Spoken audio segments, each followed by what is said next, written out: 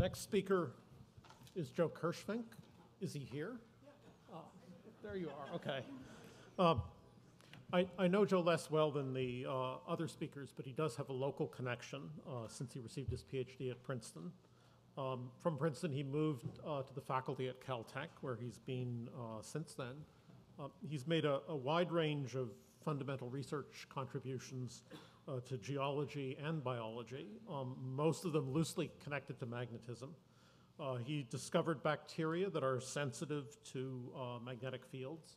Uh, he discovered crystals of magnetite in uh, human brains, although uh, it appears, unfortunately, that we're less sensitive to the Earth's magnetic field than the bacteria are. Um, he was the first to identify magnetofossils, and he's argued that these could be the source of the magnetization of some, some sedimentary rocks. Uh, he was one of the principal advocates uh, for the idea that Earth was covered by uh, glaciers for one or more periods uh, six or eight hundred million years ago, and in fact is responsible for the term snowball Earth that most of you will have uh, heard from. Uh, he recently received the William Gilbert Award from the um, um, American Geophysical Union. Um, the award described him as a a gadfly working at the uh, edge of the crowd while the crowd chases after him. But uh, of course, the citation was deliberately ambiguous as to why the crowd was uh, uh, uh, chasing after him. Joe. There are five or six major things in the evolution of life which are important, and the biggest is the origin of life. After that, you would say the adaptation to molecular oxygen, the origin of the eukaryotic eukaryotic cell, the origin of animals, and then the nature of mass extinction events, and finally humans. Uh, what, what, have we done? Uh, so the origin of life is a biggie.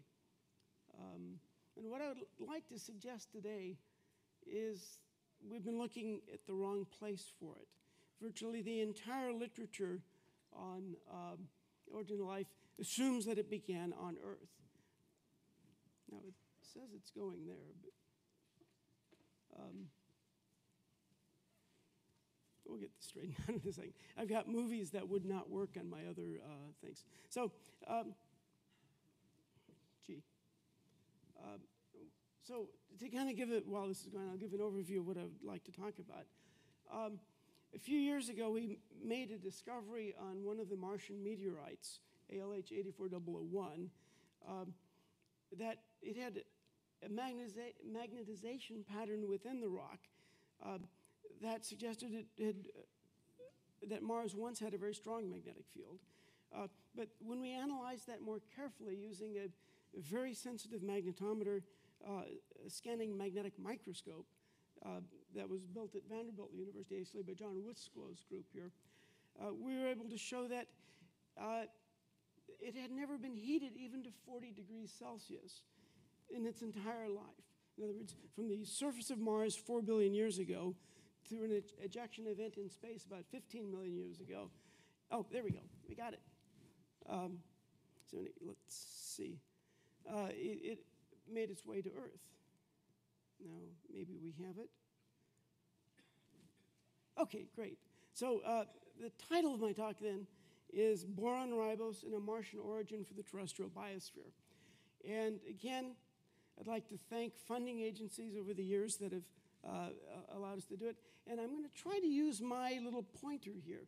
Can everybody see that moving around? I think it'll work better than a laser pointer, perhaps. So, anyway, thanks to all the support from Agouron, NIH, NICDR, et cetera, et cetera. And more recently, the Earth Life Science Institute at the Tokyo Institute of Technology. So, here's the, another connection to Freeman.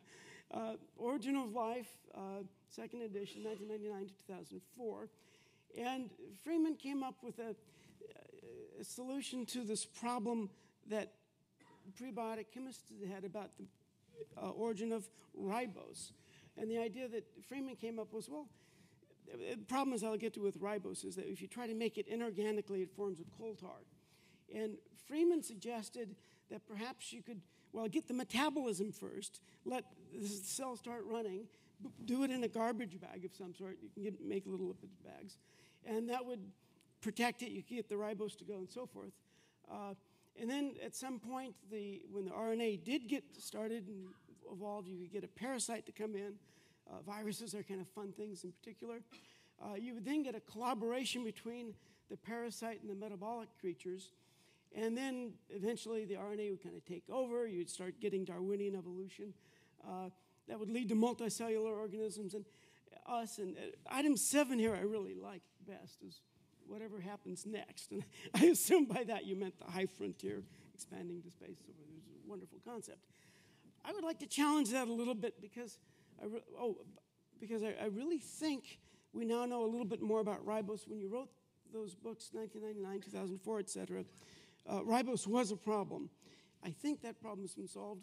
The ribose world actually works, and the solution of that actually leads to the suggestion that we are all Martians.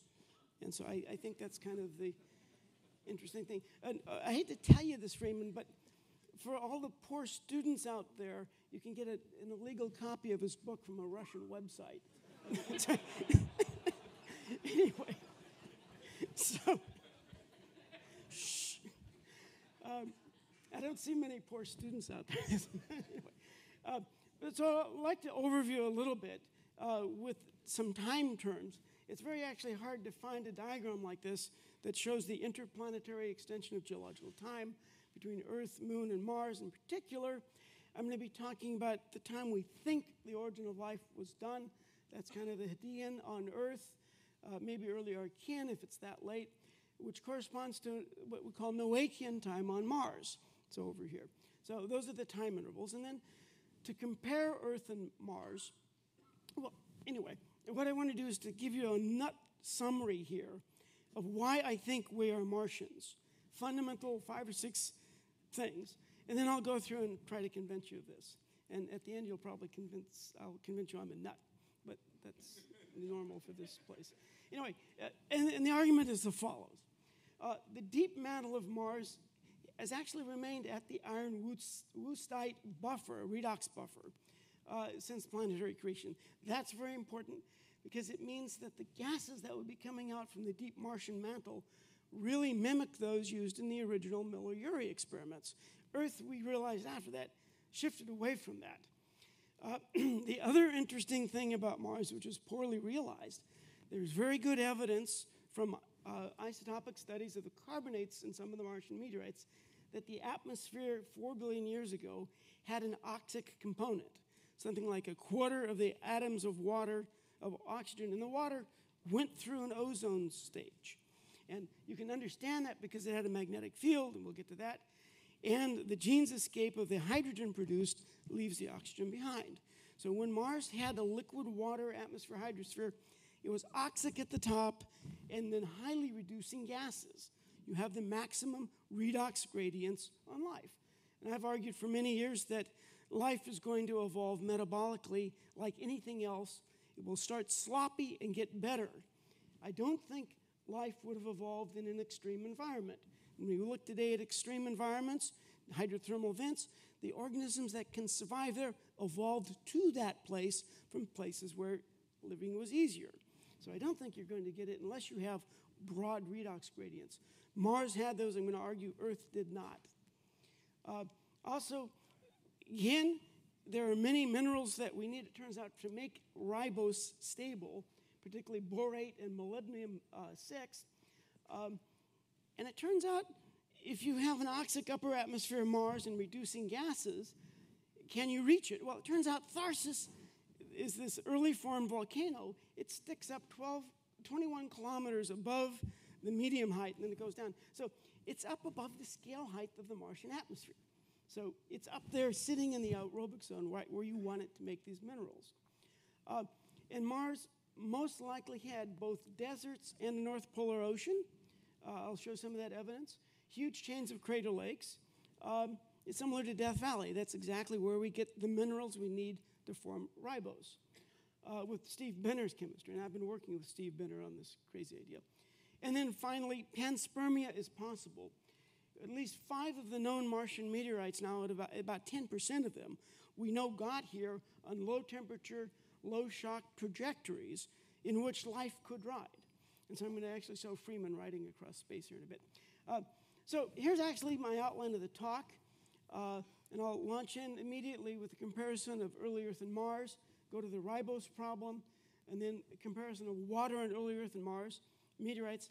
And I may be one of the few people still arguing that we do have some evidence for life on Mars from one of the Martian meteorites that has not been discredited yet, and we, for which we know of no other way of making it. That's this famous uh, Martian worm thing, but it's not the worm actually. So, here, first comparison life is here now, which is why everybody assumes it originated here. Uh, on Mars, we have no visible life.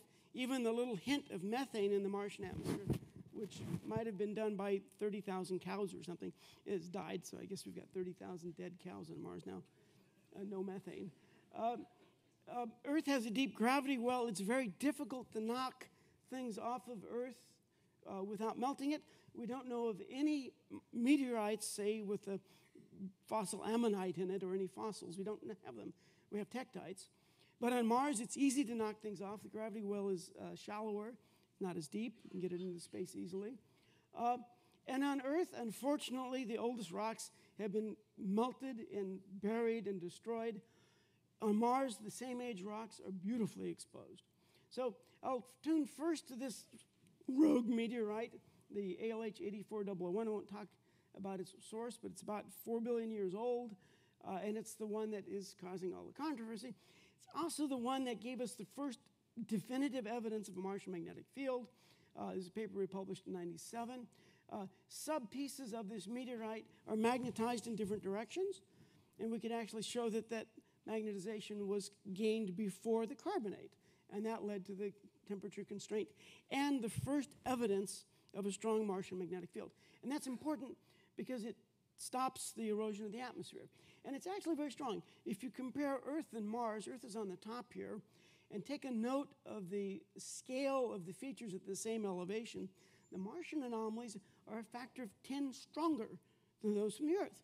Of course, the Earth now has a main dipole, but, uh, and, Mars doesn't have an external dipole, but the evidence is when those rocks formed on Mars, it had a very strong magnetic field. It's kind of fun. Uh, and again, uh, that will stop the atmosphere from eroding. However, on Mars, because it's smaller, it means you get an oxic source. Ultraviolet light hits water molecules, you form ozone. Ozone cycles to oxygen. Hydrogen escapes. Um, because of the magnetic field, you block the sputtering away of that oxygen. So you leave the oxygen behind. And I think that's a critical thing for the origin of life, actually. Uh, then getting into the geological redox buffers. Geologists love to do phase diagrams and to worry about oxidation redox states. And so I'm going to introduce a few concepts. This is log oxygen fugacity. Up here is where you get molecular oxygen. Uh, and this is uh, logarithmically less and less uh, oxygen around. The buffers we use, you can imagine, iron wüstite being down here, abbreviated IW.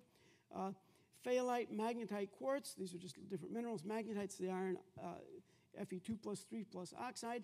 And then magnetite, hematite is up here. Those are the various buffers. The important comparison is planetary differentiation. Earth was melted maybe several times early on in its formation by large impacts. What that did was allow the, the metal iron to sink to the core, uh, and water from the surface would then interact with it. And so when you actually go and look at the volcanic gases, you get some interesting conclusions. Uh, this is again the oxygen fugacity, log units relative to the iron wüstite buffer here. Mars uh, is the Martian mantle has a wide variation, but it includes all the way down to below the iron wüstite buffer. Under those conditions, the predicted gases coming out are exactly the type of things that Stanley Miller and Harold Urey suggested in their spark experiments. Okay, uh, those are methane, ammonia, hydrogen, et cetera, et cetera. Earth, on the other hand, the mantle is oxidized significantly. And this is one of the big problems in the origin of life, because originally Urey, Murray, uh, Urey and Miller thought, um, okay, we'd have these reducing gases. And then the geologist said, now, wait a minute, the, you don't get that. And that led to a couple decades of people saying, oh, how do we get biosynthesis on Earth when you don't have these reducing gases? Hey, those gases are coming out of Mars. So uh, that's kind of one big argument for, say, putting it back on early Mars. And then, oh, a side project here did early Mars have lightning? Um, actually, this is the classic Urey Miller experiment. So here, here's this life on Mars with lightning. Uh, so, question about lightning is a very interesting point. If you look at where lightning hits on Earth today, it mainly is correlated with exposed continental material and not permafrost. Lightning does not like to strike on ground that is frozen. Why?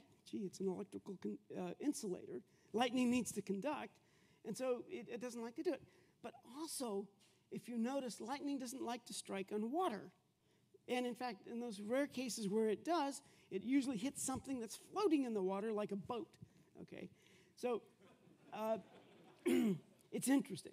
So, one of the things we want to do on Mars, in fact, we're gearing up, the call for instrumentation has just come out for the Mars 2020, ro- 2020 rover mission.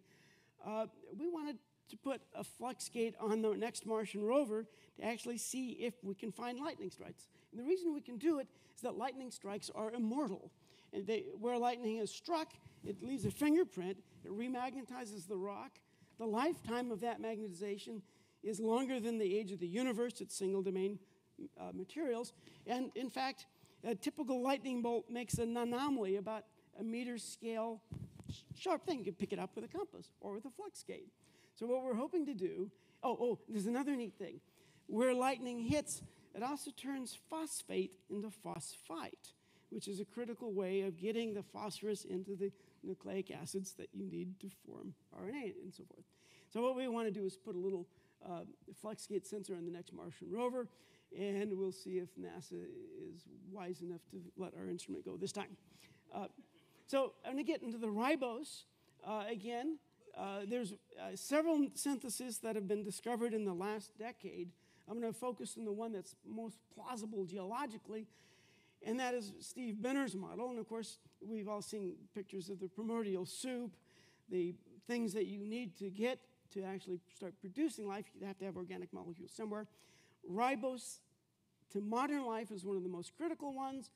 It helps form the backbone of uh, uh, RNA and DNA, deoxyribose. And so you want to actually get that. Now, the problem is ribose is very difficult to make. And this is probably one of the reasons why Freeman suggested doing it in a garbage bag, because if you could get a, a, primitive metabolism to make it, then you maybe could control these side reactions that produce coal tar. Um, well, so there's actually four problems with the RNA world. One is the tar problem. Uh, it, and I'll get to that a little bit more. There's the water problem. If there's too much water, you don't want to polymerize. Every time you put little subunits together, you remove water. That's how you string things together to make long, big polymers. Uh, that doesn't like to happen in a water world if there's too much water around. So that's why people who deal with the origin of life like deserts. So we'd like deserts. There's other two problems, uh, the poor catalysts, et cetera, et cetera. Benner solved a problem actually with a group of graduate students at the Agouron Summer Institute back in 2003. He published a little note in Science 2004. Turns out he found a solution to stop the coal tar formation. And that involved reacting it with borate solution and with calcium. And it turns out there are two critical parts on the molecule in the synthesis. If you block it with borate and the calcium, you end up making abundant five carbon sugars instead of coal tar. And this is a little piece of uh, uh, borate generating, uh, containing mineral colemanite. Uh, ulexite works as well. You do it uh, with that, you get nice five carbon sugars. Uh, if you don't do it, you get the brown coal tar. Okay, so it's kind of a critical thing. But when I heard that, I said, Steve, do you realize what you've done? You've proven we're Martians. And the reason is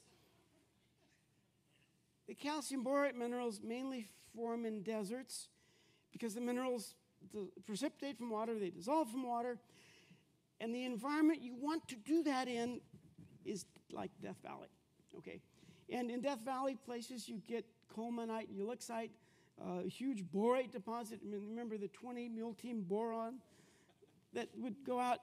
Well, and so here's the deal you need to evaluate early Earth versus early Mars based on water and the ability to get deserts. Now, actually, that's something that geologists have been working on intensively for the last couple decades. The water volume on Earth is interesting. There are astrophysical problems. Uh, George Darwin actually pointed out that if you measure the rate of lunar recession, the moon is moving a few centimeters away a year. If you run that backwards in time, the moon turns out to have been within the Roche limit about a billion years ago. So there's something wrong with the way the moon is receding today. It turns out, and in fact, Darwin used it as a, as a means of dating the Earth, which was wrong, but anyway. Uh, the, the solution turns out to put the continents under the water and have the tidal bulge just roll over the oceans, decreases the tidal friction, and it works. And it, that was the kind of the first evidence that, gee, maybe there was not much land in the past, but there's a lot more evidence. Uh, the oldest bits of the planet we have of planet Earth are tiny mi- grains of the mineral zircon um, that uh, are found. This is an aerial view of the mountain area, uh, Jack Hills area in West Australia. Turns out the sandstones that are about 3.2 billion year olds there have tiny sand grains of the mineral zircon. We can date those individual zircon grains with very high resolution ion microprobes. Some of those grains go back to 4.4 billion years ago. This is the Concordia diagram. The intersection section is shown right up here. And those intersecting little grainlets uh, are the oldest bits of Earth that we have, Hadean Earth in there. We, actually, as I mentioned, we have some a little bit young, younger uh, terrains now. But the important thing about those zircons, when you study the oxygen isotopes, it's very clear we had oxygen, water and oxygen being subducted, forming what's called S-type granites. So early Earth, four billion years ago, had enough water to be subducted dramatically. And those heavy oxygen ratios need a significant ocean volume on the order of three to four ocean volumes uh, from the present. Now, uh, and various analyses have uh, supported that. Uh, now, if you go back 4.4 billion years, we know that the moon formed by a huge impact. It melted virtually the entire uh, mantle, well, the whole planet was presumably melted. That's why it got differentiated. Um, but it means the geothermal gradient is higher, the heat flow is higher, and it means you can't have high mountains. Okay? You can't get something like the Sierra Nevada mountains or the Himalayas standing up high because it means you have a root that goes down and the thermal gradient melts that root. So there's an a priori restriction on the ability to get high continents. And if you've got several volumes of ocean water, you're not going to get it. It's, it's, it's pretty good. And even then, there's no, just in the last four or five years, there have been discoveries in northern Canada of this, now, I can't pronounce it, Nuvanatic greenstone belt. Dates at about 4.3 billion years old. Those rocks are pillow basalts. They formed at the bottom of the ocean underwater. So, direct evidence. And indeed, you look at the younger rock record, we don't have any evidence of shallow waters on the Greenland sediments in Isua at 3.8 billion years. Uh, we, we have pillow basalts there. We have uh, very fine uh, banded ironstones, but these are deep water sediments. We don't have any evidence of shallow water until about three and a half billion years.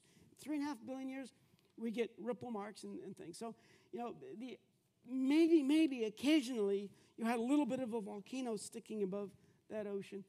But, you know, that's not where you're going to get these borate minerals that you would need for ribosynthesis. And so Steve Benner took this argument and made this slide and loaned it to me. Uh and, and, that thing uh, is not an island, that's a monster chasing some. Anyway. Uh, so I would say early Earth is most like a, a water world. In contrast, early Mars, we actually have the rock record for Mars. We know what it's like. Uh, Mars has a, a, dichotomy in the crust. There's a north polar basin, uh, and then the southern highlands. The highlands are heavily cratered. Uh, from the geological record of Mars, this is a slide I borrowed from Bethany Ehlmann, my colleague at Caltech. Uh, there, there, was a wonderful ep- episode around uh, the mid Noachian time where we have abundant evidence for flowing liquid water on the surface. Mars at that time was clearly in the habitable zone. Um, and, and the data have just gotten better and better from uh, uh, various Martian rovers. Uh, Martin, but, but I, would like to make a point here. Um, we've known f- since the Mariner missions that there are valley networks on Mars with what looked like flowing water on the surface. These were interpreted originally as maybe being subglacial features instead of, sub, but more, I think it's definitive now it was surface. But here's the thing. Uh, we know when that big pulse in uh, Bethany's chart came out. This is the Tharsis province, liquid water coming up, up through there. Uh, that Tharsis eruption is, you know, it's not just Olympus Mons being the biggest volcano in the solar system. The Tharsis province is the largest construct, the largest mountain in the solar system, basically, and the largest gravity anomaly. Very peculiar thing. The Martian, Mars apparently did not have as many heavy impacts. The upper mantle was cooler, and it solidified and became solid. Earth's mantle is convecting. We have upwelling zones, plumes, and things. It doesn't happen on Mars. And in fact, when Tharsis erupted, Mars was already rigidified, uh, uh, rigid. Uh, and it turns out when uh, Phillips, Zuber, and the, uh, Sean Solomon and others went and looked at the, the surface structure of Mars, it turns out those valley networks go down downhill of the warping on Mars that was done by Tharsis. So imagine you had a planet that solidified, you formed a big pimple on the side. The pimple rotated the planet to the equator, it's called true polar wander. It twisted, kind of like taking a, a ring and twisting it. And then the water flowed downhill from the twisting. It tells us something. The source of those volcanics of Tharsis were over here, were deep down in the mantle. That's right from the Martian core up. It means that the gases coming out of that, again, Urey Miller gases, deepest part of the mantle, boom. Uh, and uh, there's enough water, if you believe the Phillips uh, and Zuber analysis, one and a half bar atmosphere, 120 uh, meter deep ocean. Uh, and the gases were equilibrated, as I said, with the Martian mantle. It's exactly what you want for your Urey Miller experiments. There's also a question was there an ancient ocean? Uh, Jim Head, about uh, 10 years ago, 1999, published this wonderful paper arguing from the Mars Orbiter Laser Altimeter data that there were shorelines, and actually proposed uh, that there were several, at least two major shorelines you could trace around. The perspective image he showed was beautiful. Of course, it looks better when you fill in one elevation with water and try to keep it that way. But he thought he had these shorelines coming up. And actually, what happened almost immediately, uh, various people in the geological and planetary science community dumped on it, saying, well, look, if those are shorelines, they ha- should have the same elevation. And it turned out if you follow those shorelines, they varied by kilometers in elevation. And that led people to say, that's not a shoreline, it's some other feature. Until a few years ago, when Taylor Perron and others said, no, wait a minute, remember that true polar wander that Tharsis did that warped it? If you unwarp that, you end up getting, you restore those shorelines basically to the same elevation. The model unwarping is the red line, and Perron's um, uh, other things. There's, he, okay, well, maybe those are shorelines, okay. Mars may have had a North Polar. And since then, we've gotten abundant data from the Opportunity rover, from uh, the Curiosity rovers, that there's liquid water, there's hydrothermal alteration, there are these blueberries, these hematitic spheres that form. And so, my argument, and this is Steve Benner's slide, uh, this is the Kirschvink solution to the Benner model is you move it to Mars and do it there. So I, I think Mars meets that criteria. It has everything we need. And then that leads to all right, well, if it's if life, if an RNA world, sorry, Freeman, could maybe form on Mars, uh, could we get it here? And there's actually been a fair amount of resistance in the origin of life community to this, this argument. Um, so, I don't know, well, but, so I want to say, look, uh, the idea of panspermia is something that, that has a pretty uh, long history. the question, could we get life from one planet to the other? And so I'm going to talk directly about, it's not just speculation. We have experimental constraints. We've got rocks that we can sit and pound on on the table that have done this. And I want to show you that it, it may not have brought Freeman, but actually it might, well, anyway. Uh, anyway, so here's this rogue meteorite again, ALH 84001. And a few years ago, when the uh, controversy about possible microfossils came out of this, I actually collaborated with John Wikswo's group at Vanderbilt, who had de developed a, a, scanning magnetic microscope using a superconducting quantum interference device technology. And it, it is actually an amazing system. You could sit and put a sample here and scan it at resolutions of about you know a 100 micron scale, and read magnetizations that we could not detect any other way. It's uh, on the order of uh, 10,000 times better sensitivity than any other technique for measuring the magnetic moments. And it was an obvious, nice sample to work with. So we took a scan of a chunk, actually many chunks of this rock, uh, and you can see here, this is a piece of the fusion crust on the outside that was heated. You can actually see that there's a tensely magnetized zone and then a bleached zone going in. There's a heat wave that has moved in, demagnetizes the minerals in that part of the sequence, and you go in about three or four millimeters, and suddenly, bang, you get uh, a good record of heterogeneous magnetization. So it means the heat pulse didn't go in there. Now, when we started doing this experiment, we never dreamed we'd be talking about panspermia.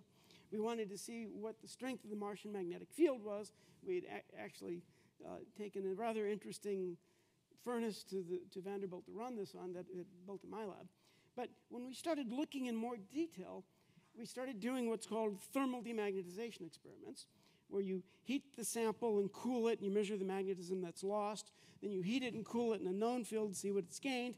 And by doing that at small steps, you can actually uh, start to measure the intensity of the magnetic field. That was the goal.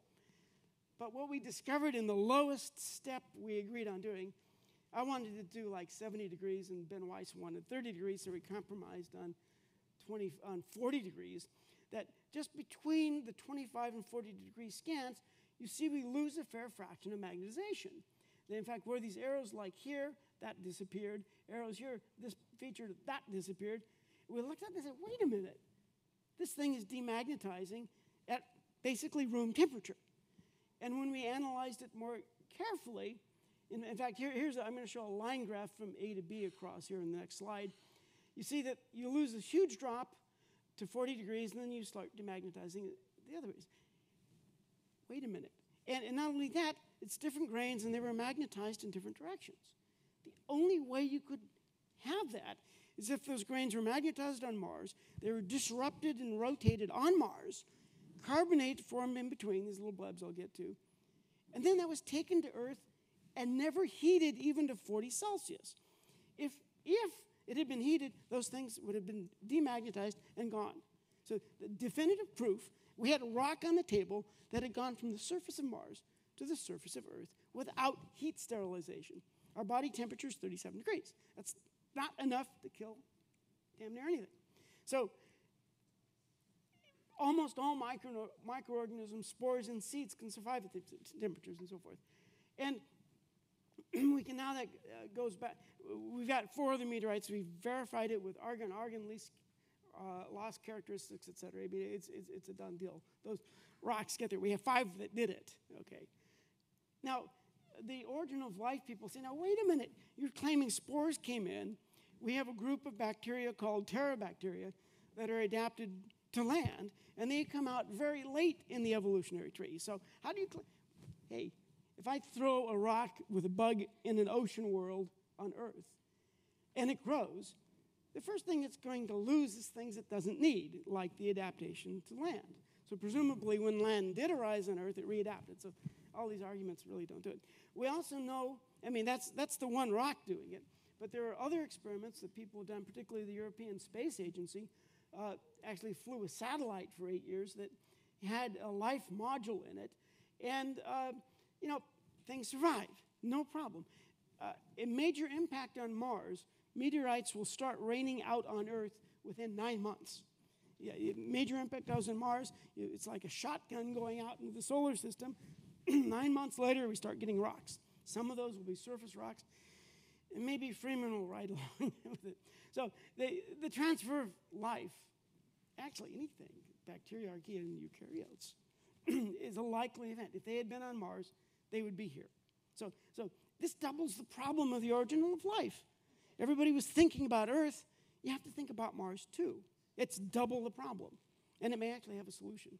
So, uh, and of course, if it had evolved on Mars first and then Mars died, it would be us, and we wouldn't necessarily know it. We'd have to figure it out. But I really think that if it lives on Mars, if it's still there, it's probably alive in the subsurface somewhere, it probably shares our genetic code. I mean, it, it's not a dumb idea to put a gene sequencing machine tuned for the terrestrial biosphere to test to see if it's the same one on Mars. I mean, people say, well, it's independent. Well, yeah, maybe. But if this is true, it might actually be us. And we would not. So, getting towards the end of, we got, what, another five, ten minutes here. Briefly, ancient life on Mars. Uh, this is the thing that triggered all the debate. Uh, is that a Martian? You know, this, where am I? I don't really know. if you go back to the original McKay paper, they had four lines of evidence for life on this meteorite. And, and, you know, the funny thing is, a good biomarker is something that is difficult to do inorganically. This is Andy Knoll's law. Okay? And so you want to find something that's difficult to make inorganically if it's going to be a good biomarker. Uh, the one that has not fallen is this possible bacterial magnetofossil claim. That was in the original McKay et al. press conference at the White House in the paper. Well, so I'm going to talk about magnetite a little bit because actually this one claim has never been shown to be possible inorganically. So it's still a viable biomarker. Um, th- these are magnetotactic bacteria. They mineralize uh, intracellular crystals they're, we know the genome, we, we know them all over the place. The magnetosomes are, are beautiful, they're all over the place. They're intricately engineered devices, nanoparticles made biologically. Uh, they are also not just in bacteria, as was introduced, they're in the uh, in salmon, the magnetoreceptors, they're in the human brain. This is that famous crystal fragment of the, the cerebellum magnetosome that Atsuko imaged so beautifully. Since then, we know the actual cells in animals. We're getting a handle on the actual magnetic sense organ. Uh, there's a structure in the edge of these one cell in a million where you have uh, about a micron sized organelle that uh, uh has thousands of magnetosome crystals. You can actually image them in the, in the back uh, with the confocal imaging. You can actually see the reflections. Uh, you can actually uh, do confocal reconstructions and actually see the magnetosome crystals reflecting relative to the membranes. Uh, and to be really fun, you can spin, you can extract the cells and spin them, and you can actually see them. Do you see the spinning cell here? Freeman, you have those in your head. Absolutely. And I know you do because we shocked you to prove it. Anyway, uh, but similar crystals seem to be present in these carbonate bulbs. Now, an interesting feature about this Martian meteorite is that it, on the fracture surfaces, ALH 84001, there are these weird pancakes uh, of carbonate up to 200 microns across with rims. And in thin sections, it's kind of neat. You get the various uh, carbonates. There are magnetites scattered throughout those carbonates, some concentrated in little bands here. And after the McKay et al. paper came out, the claim had been made that these magnetofossils were present in there, and I had discovered the magnetofossils. And in fact, one of my former collaborators, Hojatollah Vali, was on the original McKay et al. team. And so, of course, we brought him and looked at him. And damn it, you know, when you extract the magnetite from those particles and look at them, when I first saw it, I said, oh, come on, that's from the South Atlantic. It's a, it's a marine sediment. Those are, and I said, no, no, this is from Mars. When you look at it, and all of our friends, the, the red arrows turn out to be clear inorganic crystals. They have chromium and aluminum anomalies. But the ones with the blue arrows started to show up our favorite friends. And these elongate magnetosomes with the hexagonal morphologies. And, you know, you scratch your head and you say, oh my gosh, modern bacteria make things that look like this.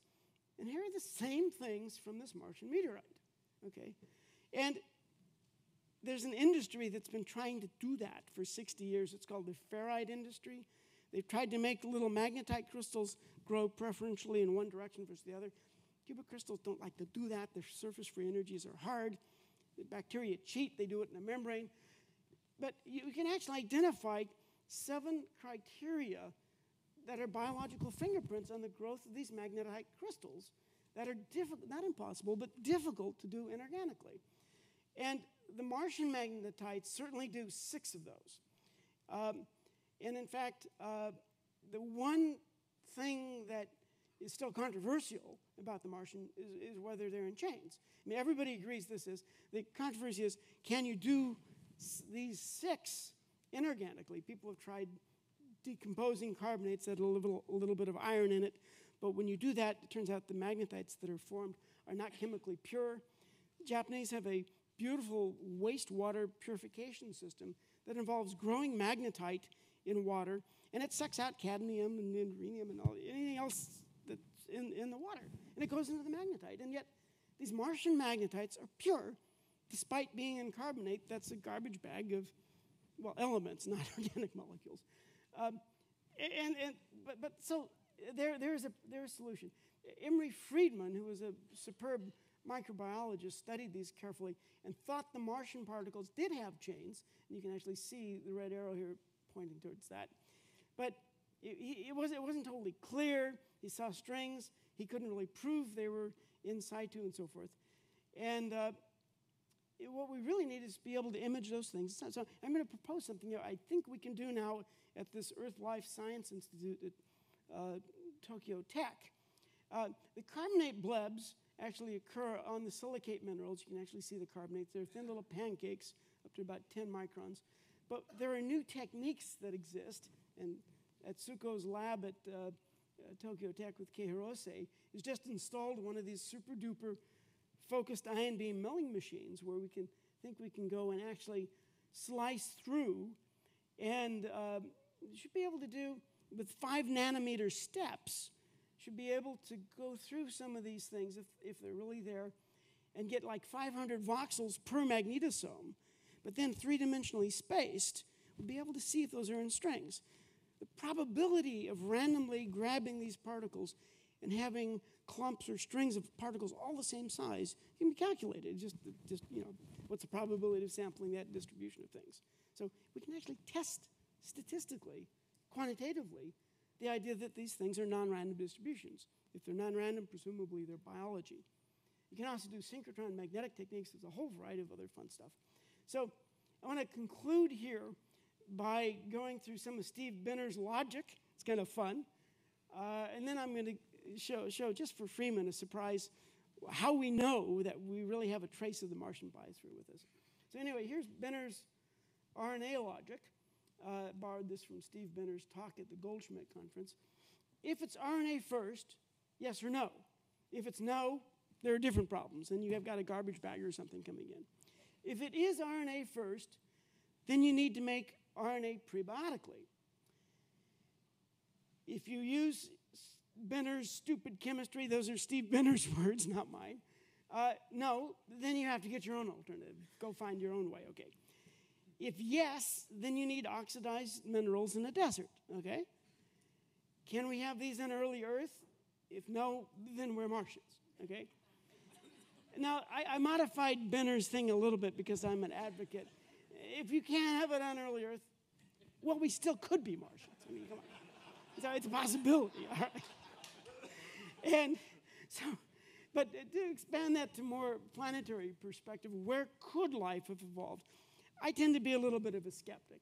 And I agree with, with Freeman that if you really want life to expand, you should engineer it to do the things that you would like. Although I'd like to talk to you about your greenhouse plants a little bit. I'd like to see the heat flow calculations and the energy budgets and things of that sort. But uh, anyway, if we worry about four main possibilities Earth like planets, Mars, Europa, meaning an ice shielded world, maybe Enceladus as well, maybe extrasolar, H2 rich super Earths, which have been mentioned here. You can get liquid water on the surface of some of those.